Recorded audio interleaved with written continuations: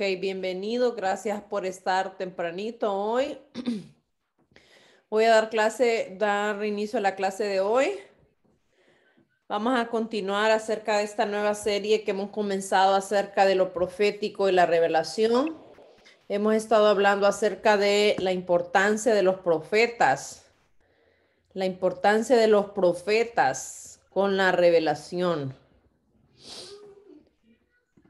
Así que, Patti, bienvenida también. Eh, tiene autoridad de host. Entonces, cada persona que vaya entrando, por favor, póngale el mute. Usted puede hacer eso con esa autoridad de host. Este, bueno. Entonces les decía que vamos a continuar con esto de lo profético y la revelación. Hemos eh, visto la importancia de los profetas en la revelación.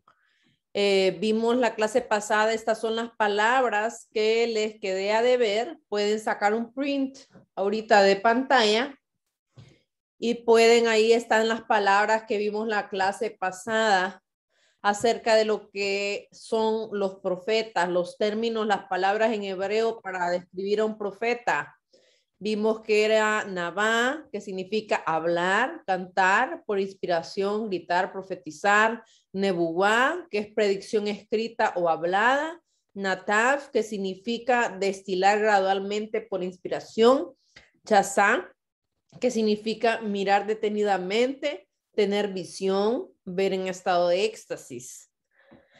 Todas estas palabras definen lo que es un profeta. Y vamos a ir viendo más adelante que un profeta es vidente, o sea que un profeta puede tener sueños y visiones y un profeta también eh, puede eh, ser una boca de Dios, son profetas boca.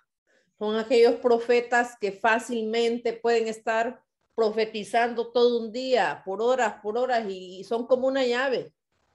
No acaban. Profeta boca. Hay otros profetas que son más de visiones y de sueños. y hay otros que son más profetas boca. Y hay otros pues que pueden tener una combinación de los dos. Pero eso es importante de saber de un profeta. Un profeta es boca. Un profeta puede dar una palabra de Dios, pero un profeta también puede ser vidente. Y con vidente me refiero que Dios le habla a través de sueños y visiones. Ok, los profetas dijimos que eran hombres y mujeres que reciben la revelación de Dios y la hablan al pueblo para traer dirección de Dios. Dijimos también que los profetas eran son boca de Dios, ojos de Dios, conocen el tiempo, la agenda de Dios. Sanadores, restauradores. Dios utiliza mucho a los profetas en restaurar lo que se ha perdido en la iglesia, en el reino de Dios traen sanidad, traen medicina de parte del corazón de Dios los profetas. También vimos la clase pasada que el profeta tiene una alta percepción natural y espiritual. Los profetas son personas sumamente sensibles, sumamente, y lo voy a repetir, los profetas son personas sumamente sensibles. Es decir, cuando ellos están conociendo a alguien, por ejemplo, se les presenta por primera vez a, alguien, el profeta está discerniendo el saludo que le da la persona, cómo se lo está dando. Se lo está dando, puede ser de manera fingida, de manera hipócrita o está siendo genuino, está siendo sincero el profeta tiene una alta percepción natural y espiritual. El profeta puede entrar en un lugar y puede percibir la atmósfera que hay en un lugar. Puede ser una hermosa atmósfera de la presencia de Dios o puede percibir una atmósfera del enemigo, demoníaca. Tiene una facilidad de discernimiento de espíritu. Puede detectar qué demonios se están moviendo en un territorio, en un lugar, en una persona, etcétera. Entonces son personas sumamente, sumamente, pero sumamente sensibles, muy sensibles. Eh, la motivación de los profetas siempre es traer la revelación de Jesús al pueblo de Dios. Que la iglesia crezca, ese es el deseo de todo profeta, a la estatura del varón perfecto. Ellos también identifican llamados en la gente. Vamos a ver también hoy que los profetas, porque hay gente aún machista en estos tiempos que hablan de que los profetas solamente eh, pues pueden ser hombres y no es cierto. Podemos ver tanto en el Antiguo como en el Nuevo Testamento ejemplos de mujeres profetas. En el Antiguo Testamento tenemos, por ejemplo, a Débora. Dice la, la palabra en el libro de jueces, y me levanté yo, Débora, como madre de Israel. Los profetas también tienen un corazón maternal o paternal. Y aquí en el Nuevo Testamento podemos ver a Ana, Ana la profetisa, dice Lucas 2, 36 al 38 que también ahí Ana, profetiza, hija de Fanuel, de la tribu de Aser, de edad muy avanzada, pues había vivido con su marido siete años de, de su virginidad y era viuda hacía 84 años y no se apartaba del templo sirviendo de noche y de día con ayunos, oraciones, presentándose en la misma hora, daba gracias a Dios. Ahí él, ella está, habla este versículo de cuando ella estaba esperando la llegada de Jesús a la tierra. Y dice, y hablaba del niño a todos los que esperaban la redención en Jerusalén. Ella fue una de las profetas usadas por Dios, mujeres que estaban profetizando que Jesús iba a venir a la tierra. Y esta mujer profeta estaba vigilando sobre esa palabra, declarando esa palabra, ayunando sobre esa palabra hasta que Dios le permite a ella ver con sus propios ojos a Jesús. En ese tiempo Jesús era un bebecito, un recién nacido. Y ella podía, entonces Dios la usa como una profeta declarando lo que Dios iba a hacer, que iba a traer a Jesús a este mundo. También están los falsos profetas y cuando hablamos de profetas no podemos dejar de hablar de Jezabel porque el espíritu de Jezabel es un espíritu que se mueve en la falsa profecía. Y el espíritu de Jezabel está en contra de los profetas. Eso es algo muy importante que tenemos que saber. El espíritu de Jezabel odia lo profético, odia que escuchemos la voz de Dios, odia que tengamos sueños, odia que tengamos visiones. ¿Por qué? Porque cuando tenemos y escuchamos la voz de Dios, este demonio entonces es expuesto. Es, podemos descubrir dónde está operando. Quien se mueve realmente en un, don profético, en un ministerio profético, un profeta puede detectar fácilmente dónde se está moviendo Jezabel. Y quiero decir con esto, por eso puse el ejemplo y dije ahorita a propósito cualquier persona que tenga un don de profecía o se mueva en lo profético, o sea, ya tenga el llamado de profeta, que no es lo mismo que les he explicado, que no es igual tener un don de profecía a ser un profeta, pero todos los hijos de Dios son llamados a tener discernimiento. Entonces, no solamente los profetas pueden detectar a Jezabel, Dios quiere que todos sus hijos nos movamos en lo profético, porque lo profético desenmascara a Jezabel. Podemos, con la madurez de Dios, con el discernimiento de espíritu, detectar dónde se está moviendo Jezabel. Y algo que le gusta a Jezabel es que a ella le gusta decirse que es profetiza. Y aquí, aquí es donde hay que tener muchísimo cuidado con lo profético. Mire lo que dice acá. En Apocalipsis 2.20, pero tengo unas pocas cosas contra ti que toleras que esa mujer Jezabel, que se dice profetiza, enseñe y seduzca a mis siervos a fornicar y a comer cosas sacrificadas a los ídolos. Algo que hace este espíritu de Jezabel, que en otra oportunidad hablaremos acerca de este espíritu, ah, con algunos de ustedes que llevan más tiempo con, nosotros, pues eh, ya les he enseñado acerca de este demonio. Pero a grosso modo, el espíritu de Jezabel es un espíritu de manipulación y de control. Y es un espíritu demoníaco que no tiene, no tiene una orientación de decir que solamente se va a mover en las mujeres como equivocadamente se ha creído, que solamente una mujer puede estar influenciada por un espíritu de Jezabel. Hay hombres también que pueden ser influenciados por este espíritu. Y este espíritu básicamente es que da falsa profecía. este espíritu de Isabel dice, Dios me dijo esto, pero realmente Dios no lo dijo. Ella lo está diciendo o él lo está diciendo, este demonio utilizando una persona para manipular algo, para buscar controlar algo, una situación, una persona, una persona que esté en autoridad, la puede querer manipular, porque este espíritu, recordemos, vean y lean en el libro de Reyes quién era Jezabel. Jezabel era la esposa de un rey. Y ella, aunque no estaba en el trono, ella era quien manejaba a Acab, que era su esposo, y ella era la que tomaba las decisiones. Y prácticamente ella era la que mandaba ahí, aunque no ella, no era ella la que debía hacerlo, pero ella manipulaba a su esposo de tal manera que ella siempre salía, se salía con la suya entonces, esa es Jezabel. Ese es un espíritu. Y recuerden, no es un hombre, no es una mujer, es un espíritu. Es un demonio que puede influenciar, ya sea a un hombre o ya sea a una mujer. Entonces, este espíritu esa, busca falsificar lo profético.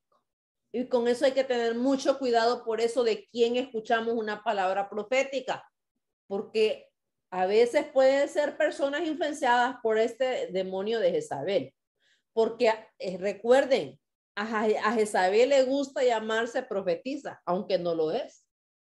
Es una falsa profecía la que Jezabel da, porque Dios no la ha llamado a ser profeta, obviamente. Entonces, ella busca copiar, imitar, manipular con la palabra profética. Es aquella gente que puede decir, Dios me dijo que me diera para darles un ejemplo, eh, mil dólares. Y hay gente que lo da. O Dios me dijo que, que usted es mi esposo. O Dios me dijo que teníamos que orar eh, porque el pastor está haciendo unas cosas tan torpes. O a veces no lo dicen así, son más astutos, pero pueden, van en contra siempre de la autoridad. Dan unas palabras proféticas, entre comillas, que mueven a la rebelión que mueven a estar en contra de la autoridad que Dios ha puesto en un lugar. Eso es lo que hace Jezabel. Jezabel es rebelde. Jezabel va en contra de cualquier autoridad. Ella busca el control, ella busca manipular. Jezabel puede llevar a una persona a decir, bueno, mire, a mí Dios me reveló, puede decir Jezabel, que el pastor anda mal, oremos, porque sí, se ve que el pastor necesita. Y, y tiene una apariencia de piedad, pero su motivación es errónea. Pero bueno, otro día hablaremos de Jezabel, pero lo que me importa que, que conozcan el día de hoy es que Jezabel se dice ser profetisa. Y cuando hay un mover profético, Jezabel busca meterse de alguna manera. Por eso es que una enemiga de lo profético es Jezabel. Una enemiga de los profetas es Jezabel. Lo vimos, lo vemos, por ejemplo, con Elías. ¿Quién fue su mayor enemiga? Jezabel. Jezabel odia a los profetas porque los profetas la descubren, la desenmascaran, le derriban lo que están haciendo, así como lo hizo Elías. Elías mató a, a matar a todos los profetas de Baal. ¿Por qué? Porque hizo que el fuego de Dios descendiera. ¿Y cómo quedó Jezabel? Enojada y lo, intimidó y buscó matar, al punto que el profeta llegó a una cueva por la intimidación de Jezabel, donde después la voz de Dios lo saca. Bueno, entonces eso es importante y hay que tener cuidado siempre porque este espíritu de Jezabel se mueve en las personas que son heridas.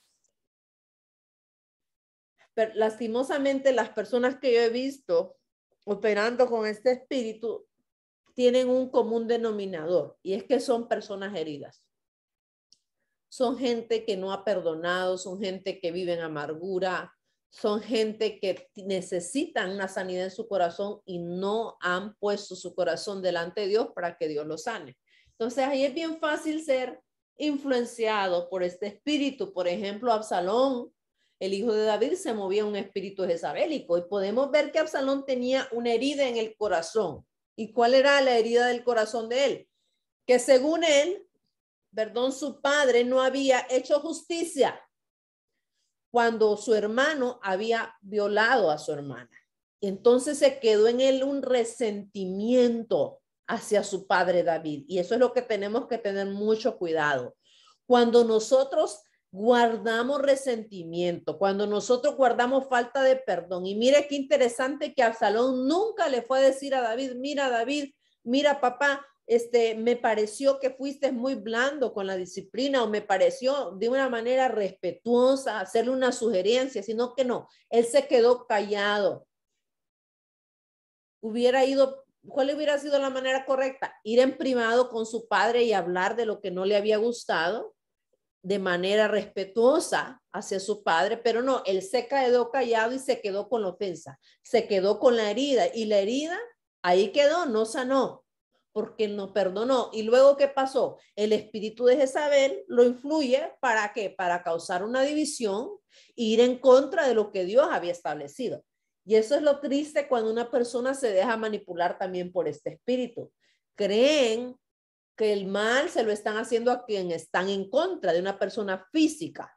Y no es así, no es en contra de, del pastor que están haciendo mal o de una persona, es en contra de lo que Dios quiere hacer. Entonces, eso es lo peligroso de cuando no sanamos nuestros corazones en Dios, cuando guardamos ofensas, resentimientos, falta de perdón, amargura, etcétera, el enemigo entonces puede influenciarnos y no nos vamos a dar cuenta. ¿Saben por qué no nos vamos a dar cuenta? Porque el diablo tiene un derecho legal en nuestro corazón que le permite influenciarnos. Entonces, por eso es importante siempre el perdón.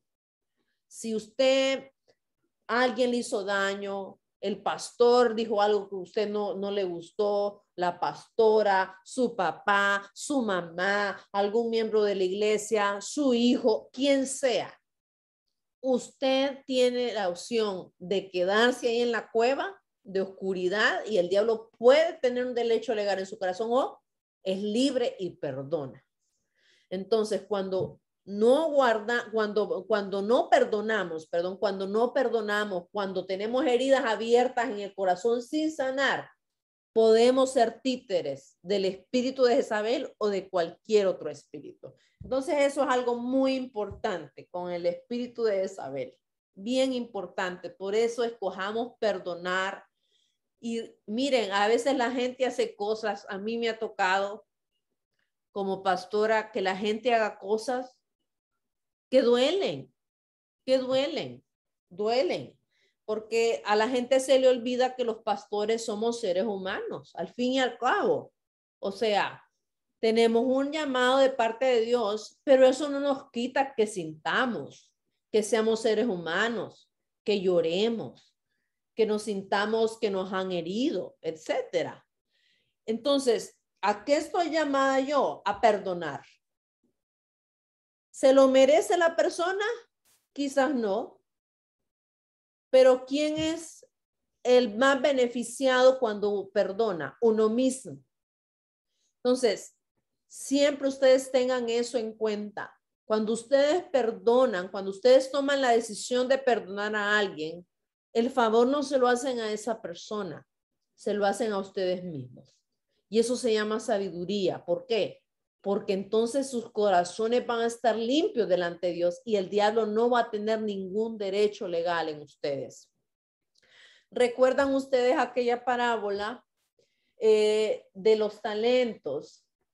De cuando había el rey, rey manda, el rey manda a llamar a, un, a uno de sus siervos que le debía dinero y el rey le perdona la deuda, pero sale este, este hombre y le le dice a quien le debía, págame o te, o te llevo a la cárcel. Y el rey se da cuenta, el rey se enoja y le dice, ¿por qué no extendiste misericordia? Si yo te perdoné una deuda grande, tú no perdonaste una deuda tan pequeña. ¿Y qué le dice? Échenlo a la cárcel, a donde los verdugos lo atormenten. Eso es lo que sucede cuando no perdonamos. Cuando no perdonamos, el diablo tiene un derecho legal para atormentarnos. Dios nos ha perdonado cuántas cosas, infinidad de cosas. Ustedes desde el momento en que nacieron hasta el día de hoy piensen en cuántas cosas ustedes, Dios, ustedes le han dicho, Dios perdóname y Dios los ha perdonado. Y dice la palabra que Él nos perdona de una manera que Él ya no se acuerda más de, de nuestros pecados, que los echa al fondo del mar. Y así como está de lejos el oriente del occidente, así Dios tiene de lejos nuestros pecados. Él ya no se acuerda. Entonces, ¿qué espera un padre perdonador? Que perdonemos. Entonces, pidámosle al Espíritu Santo que nos ayude, porque nuestras fuerzas y nuestra carne lo que queremos es vengarnos, lo que queremos es insultar, lo que queremos es ojo por ojo, pero en el Espíritu Santo Él nos puede dar esa capacidad de perdonar. Y al final, como les digo, los más beneficiados siempre somos nosotros. Los hijos de Dios, los profetas, los apóstoles, los, de cualquiera de ministerio quíntuple, gente que intercede, gente que está en la iglesia, cualquier persona que sea un hijo de Dios tiene que perdonar, tener un estilo de vida de perdón. Si no, ahí se meten los demonios fácilmente. Bueno, vimos eso de la función del profeta, eso es una mente eh, de lo que vimos el martes, ah, perdón, el jueves. Estoy con el martes, el jueves pasado. Vimos también lo del carácter del profeta, la importancia de que el profeta tenga carácter. Porque de qué sirve que yo tenga un llamado de profeta si soy inmadura. La falta de carácter me va a echar a perder mi llamado como he visto tristemente en varios, en varias personas. Y no es que me crea la última eh, maravilla yo, pero gracias a Dios me ha hecho permanecer por su purita gracia. Pero es tremendo cuando no nos dejamos formar el carácter por Dios. Cuando entra el orgullo y decimos, yo las puedo todas, yo me las sé todas, ahí entra el enemigo también, mire, a dejarnos caer. Porque si no, lo que nos sostiene dejar, en dejarnos formar por Dios es el amor que le tengamos a Él y la obediencia y el decir, heme aquí, Señor, humillarnos, humillarnos delante de Él para que Él nos forme. ¿Cuánto me falta a mí que Dios me forme? Uf, a todos aquí nos falta. Lo importante es siempre saber que Dios quiere transformar nuestro corazón, que no somos ya, que no hemos llegado todavía, que no, no lo sabemos todo, que necesitamos seguir siendo transformados, que necesitamos seguir siendo formados por Él. Eh, dijimos también que Dios busca que el profeta sea consistente con el mensaje que está dando que Dios permite también que el profeta viva el mensaje. Les dije, muchas veces Dios permite que los profetas pasen por situaciones difíciles, por crisis, porque Dios ahí los está moldeando y en ese proceso ellos hablan, ellos de ahí se inspiran de lo que están viviendo con Dios, de ahí salen sus mensajes. El profeta vive el mensaje y es un portador del mensaje que está viviendo. Eso es algo bien importante. También el profeta dijimos que con misericordia y con verdad confronta.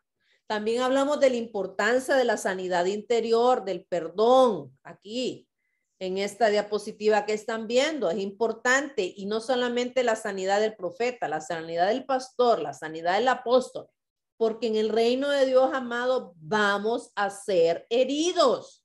Yo no sé a quién le dijeron que en la iglesia no hay ofensas, que en el reino de Dios nadie te va a herir, que en el reino de Dios nadie te va a traicionar, que no, no van a haber desacuerdos con nadie. Eso es mentira, eso es falso. No ser todo color de rosa en el reino de Dios. En la iglesia, mucho menos. No es que vamos personas ahí imperfectas que estamos en proceso de transformación. Y además de eso, muchas veces también viene el diablo y mete la pata para causar, queriendo causar división, queriendo causar contiendas, eh, rencores, resentimientos, pero la decisión la tenemos nosotros. O somos fuente de Satanás, de la falta de perdón, del resentimiento, de herida, de rechazo, de corazones heridos, o somos fuentes de bendición y aunque hayamos sido heridos, escogemos perdonar, escogemos bendecir, escogemos, aunque me vuelvan a hacer lo mismo, vuelvo a perdonar. ¿Cuántas veces dijo, le dijo Jesús a Pedro que teníamos que perdonar? 70 veces 7, o sea, eso no es 490. Eso es las veces que sean necesarias. Y algo importante aquí es que una persona puede seguir operando en los dones, ya sea que tenga un don de profecía, un don de fe, un don de enseñar, etcétera, cualquier don, y puede operar desde el, recuerden que los dones operan desde el espíritu. Y puede ser una persona eficaz en su don, pero su alma está herida. Su alma está llena de amargura, de rencor, de juicio a los demás y de tinieblas. Y es ahí donde se dan las mezclas. Mire, es como tener ah, una botella de agua, pero con un poquito de basura dentro. Yo creo que nadie se la tomaría. Y muchas veces así andamos en el reino de Dios. Andamos con dones, que es el agua, que es una palabra profética para alguien, pero andamos con la basura dentro del bote, que no se saque, que no se sale. Y entonces, ¿qué pasa? Andamos contaminando a otros. Andamos desde el espíritu profetizando, desde el espíritu teniendo un don de fe, desde el espíritu teniendo visiones, pero nuestra alma, nuestra alma con basura dentro de falta de perdón, de resentimiento, de rechazo, etcétera. Necesitamos ser consistentes. Nuestra alma necesita sanidad en Dios, perdón, que Dios nos sane el corazón para ser efectivos y no solamente estar fluyendo en el don, sino tener carácter. Y algo importante aquí, reacciones carnales ante la disciplina de Dios, porque hay gente que está hasta ofendida con Dios. Entonces, ¿qué pasa cuando reaccionamos de manera carnal ante la disciplina de Dios? Menospreciamos su corrección. Entonces, cuando viene Dios y me corrige, yo digo, no, no acepto esa corrección, la menosprecio. Y algo importante que tenemos que saber es que cuando Dios nos disciplina, es que Dios nos ha tomado como hijos. A quien Dios no disciplina, entonces no es hijo. Entonces usted alégrese cuando Dios lo discipline, porque eso es una señal que usted es hijo.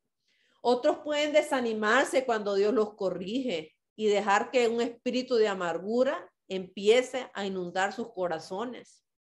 Otros se aíslan y entran en error, abriendo puertas al orgullo y al juicio hacia los demás.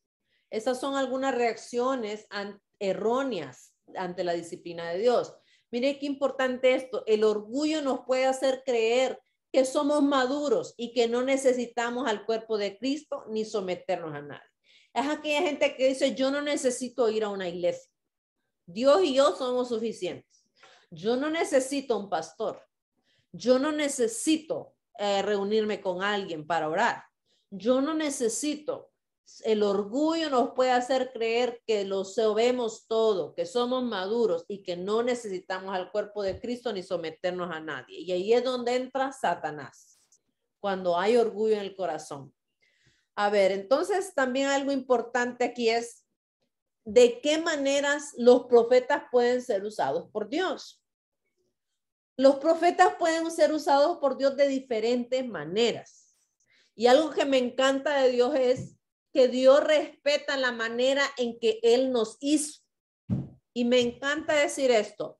Dios no me va a usar igual que a, tal profeta que a aquel profeta. Dios me va a usar como profeta de manera única, como yo soy, con mi personalidad, de manera especial. Entonces, aunque tengamos un llamado de pastor, Dios no usa a todos los pastores iguales. Aunque tenga un llamado de evangelista, Dios no va a usar a todos los evangelistas iguales, porque Él no hace copias, Él nos hace únicos en todo, aún, aún cuando Dios nos dé un llamado y sea un llamado de pastor, de apóstol o, o de empresario, qué sé yo, o en la educación o en la política, donde sea que Dios lo haya llamado, Recuerde que Dios a usted lo va a usar de manera única. Usted puede aprender de alguien, pero no imite. Busque en Dios cuál es su diseño y quién usted es. Puede tener un mentor, por ejemplo, en el ámbito empresarial, pero no busque imitar a ese empresario. Escúchelo, aprenda, pero dígale, Señor, ¿quién soy yo? Entonces, de la misma manera, los profetas pueden ser usados de diferentes maneras. Hay profetas videntes. Los profetas videntes son aquellos que se mueven en sueños y visiones. Son aquellos profetas que Dios les da visiones, sueños, visión. Esa es la manera donde Dios les habla a ellos. Y tuve un sueño, y tuve otro sueño, y tuve esta visión. Esa es la manera, el lenguaje que Dios usa, un lenguaje visual con estos profetas. Hay otros profetas que Dios los usa y les habla como profetas boca que son aquellos profetas que dice el Señor esto, y dice el Señor esto, y dice el Señor esto, y dice el Señor aquello, y dice el Señor aquello. No necesitan necesariamente que Dios les muestre una visión o un sueño. Ellos a través de su boca reciben el mensaje de Dios en su espíritu y lo desatan a través de la boca. Eh, esa es la manera que Dios se comunica con ellos. Dios les habla cosas y ellos lo sueltan por la boca. Entonces son e, este tipo de profetas o puede ser una combinación de los dos. Hay profetas que son usados como videntes y como profetas boca. Profetas videntes que tienen visiones y sueños y también profetas boca que declaran lo que Dios está hablando, lo que Dios quiere hacer. También dentro de eso pueden haber profetas que son administradores. Les voy a poner un ejemplo, José. José fue un profeta administrador. Si ustedes recuerdan, él tenía un, llamado de profeta. ¿Por qué? Cómo el hombre podía interpretar sueños, saber lo que Dios quería hacer para Egipto y para las naciones. Era un profeta, pero era un profeta administrador o economista. Pueden ser también profetas salmistas. Un ejemplo de esto, David. David era un profeta salmista. Pueden ser profetas a las naciones. Un ejemplo de esto, Isaías, Jeremías. Pueden ser profetas maestros, pueden ser profetas escritores, pueden ser profetas en las artes, pueden ser, etcétera. Hay un millón, infinidad de maneras donde Dios puede usar a los profetas. Y de la misma manera en los otros ministerios quíntuples. Ahora, a ver hasta dónde llegamos hoy. Este, una palabra importante en el profeta es que en hebreo la palabra profeta viene del hebreo naví. Y ojo aquí los intercesores, porque esto está bien ligado a la intercesión. La palabra naví significa vocero, atalaya, vidente y puerta. Todas esas son funciones de un profeta. Pero también recuerden que los profetas son guerreros y ellos pueden dirigir a los intercesores, dirigen intercesión, porque ellos conocen qué es lo que el diablo quiere hacer, pero sobre todo lo que Dios quiere hacer. Y no solamente los profetas están llamados a funcionar como atalayas, como videntes, como puertas, como voceros. Esta es una función de un profeta, pero Dios quiere levantar en su iglesia atalayas eso es algo importante. Entonces vamos a ver aquí qué, qué son estas palabras. Entonces, Naví en hebreo es profeta. Y esta palabra tiene cuatro palabras, que es vocero. ¿Qué es un vocero? Un vocero es a una persona que da a conocer la mente, la agenda, el tiempo de Dios, el corazón de Dios. ¿Qué es un atalaya? Es un espía, es un centinela, es un velador es un vigilante y un guardia.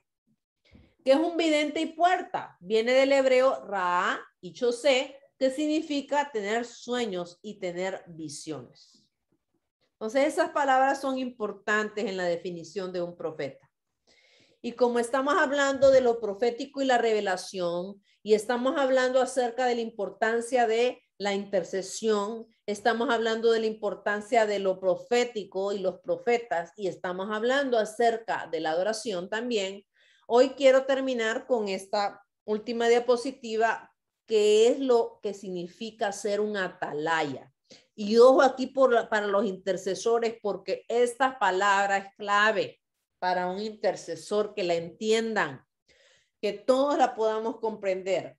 La palabra atalaya en hebreo significa zafá, que es observar, aguardar, esperar, vigilar, extender, acechar, considerar, cubrir lo descubierto, mirar y atisbar a la distancia.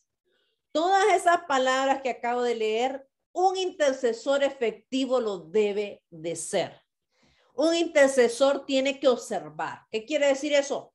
Tener discernimiento de espíritus. ¿Qué espíritus hay en la gente? ¿Con qué intenciones viene esta persona? ¿Qué demonios quieren afectar la iglesia? ¿Qué demonios quieren afectar la ciudad? ¿Qué demonios quieren afectar la nación? ¿Qué ataque el enemigo está planeando? El atalaya verdadero observa, aguarda, aguardar que el cumplimiento de las promesas de Dios.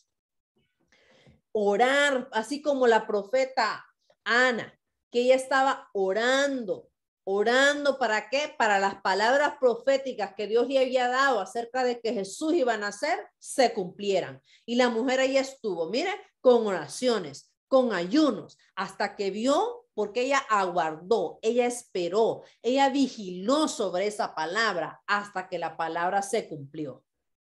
Ese es el problema, que se nos da una palabra y no queremos hacer nada, pero se nos da una palabra profética y nosotros tenemos que hacer algo.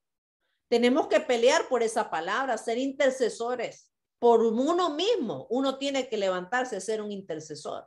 Dios me da una palabra, yo tengo que convertirme en un atalaya de esa palabra. Voy a observar, voy a guardar, voy a esperar, voy a vigilar, voy a extender, voy a acechar al enemigo. No voy a estar nada, ay, ahí viene el diablo y no voy a hacer nada. No, vengo al diablo venir desde lejos, tengo que hacer algo. Considerar, cubrir lo descubierto, mirar y atisbar a la distancia. Eso es lo que hace un atalaya. Me gusta esta, mirar y atisbar a la distancia. Ver al enemigo desde lejos, no cuando ya lo tenemos adentro, desde lejos. El intercesor efectivo siempre ve al enemigo de lejos y con sus oraciones, con su intercesión, se levanta efectivamente para que el enemigo no entre a, a la iglesia, a la familia, a la ciudad, a la nación, etc. La palabra talaya en hebreo también significa nazar.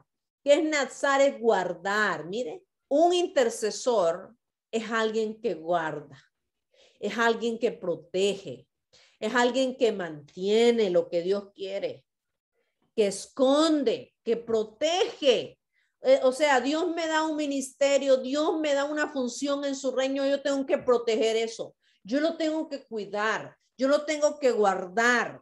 Eso se llama atalaya. Mishmar es un guardia, un centinela. Shamar es alguien que me encanta esta. Shamar es alguien que cerca alrededor con espinos, proteger, cuidar, preservar, pastorear, vigilar y reservar. Mire qué tremendo dice acá que un atalaya cerca alrededor con espinos. O sea que viene el diablo y se quiere meter, puede salir ahí espinado, ahí se va a enredar. ¿Por qué? Porque el intercesor efectivo, el atalaya, ha levantado espinos alrededor para que el diablo no pueda meterse. Protege, cuida, pastorea, vigila, reserva. Una persona que realmente es un intercesor, un atalaya, va a amar la iglesia. No va a decir, ay, no, aquí estamos orando otra vez, Dios mío, ay, no, qué fastidio. No, es, lo hago porque tengo que cuidar la obra de Dios vamos a orar y sabemos que intercediendo se protege la obra de Dios, se protege la ciudad, se protege la nación. Vamos a acercar con espinos con nuestra intercesión. Vamos a hacer guardia, vamos a guardar, vamos a mantener, vamos a proteger. Eso es todas estas palabras que ustedes están viendo en pantalla ahorita. Es lo que un intercesor efectivo tiene que hacer. Y un intercesor efectivo necesita ser profético para que pueda ver lo que Dios quiere hacer, pero también lo que el enemigo está planeando. No podemos ser intercesores sin lo profético. Hay gente que decía, no es necesaria la intercesión profética. No, es que tenemos que serlo.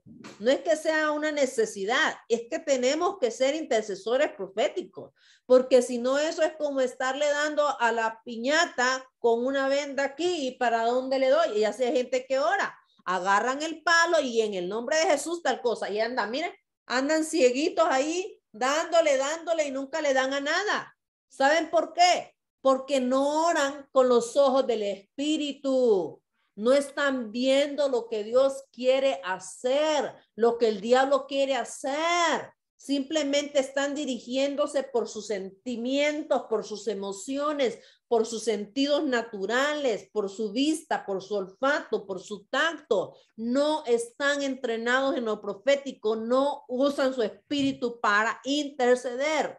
Y así como la adoración se hace desde el espíritu, la intercesión tiene que hacerse también desde el espíritu, no desde el alma, desde el espíritu. Entonces, un intercesor, un atalaya, tiene que ser profético. No hay para dónde. No es que si quiere, no es que si no. Es que, es que tiene que serlo.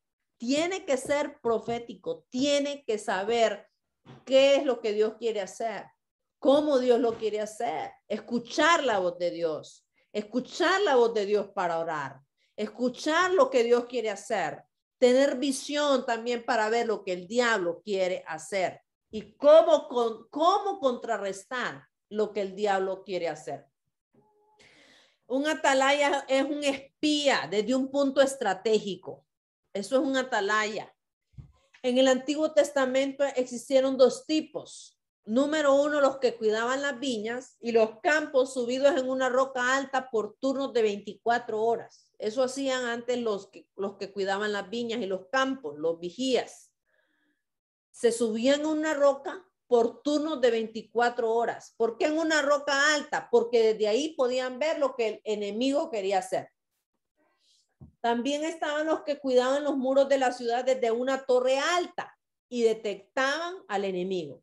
Y eso lo podemos ver en segunda de Samuel 18, 27, que eran, eran personas que decían, el que viene ahí me parece que es como, y ya sabían, los atalayas desde lejos decían, no necesito verlo de cerca, el corrido de esa persona, el caminado, el porte, se parece al de fulano de tal. O sea, eran unas personas tan efectivas con tanto discernimiento que no esperaban que el diablo ya estuviera casi en la puerta para detectarlo, como hay gente, ¿verdad? Como tristemente nos pasa cuando no intercedemos, cuando no tenemos la visión de ser intercesores proféticos, de, de usar nuestros sentidos espirituales, estamos siempre entonces a la defensiva. Viene el diablo, ataca, hasta ese momento nos dimos cuenta que el diablo entró, pero Dios quiere que lo veamos desde lejos, desde antes que el diablo se le ocurra llegar a la puerta, ya lo vimos y con la intercesión lo paramos. Amados, esa es la importancia de los intercesores. Por eso los intercesores son tan importantes en el reino de Dios. Si usted es un intercesor, yo le agradezco por esas intercesiones que ha levantado al favor del pueblo de Dios, a favor de los hijos de Dios, a favor de los siervos de Dios porque necesitamos intercesores proféticos que se levanten a favor de los pastores, a favor de los ministros, a favor de la iglesia. Pero un intercesor necesita caminar en perdón, con un corazón limpio. No podemos dar cabida a rencor, a resentimiento, amargura. Necesitamos tener un estilo de vida de perdón. Y por otra parte, ser intercesores proféticos, que veamos lo que Dios quiere hacer, que escuchemos la voz de Dios, que sepamos lo que el diablo quiere hacer, que tengamos discernimiento para detectar lo que el diablo quiere hacer, pero más grande siempre es lo que Dios quiere hacer. Bueno, hasta aquí me quedo en este día.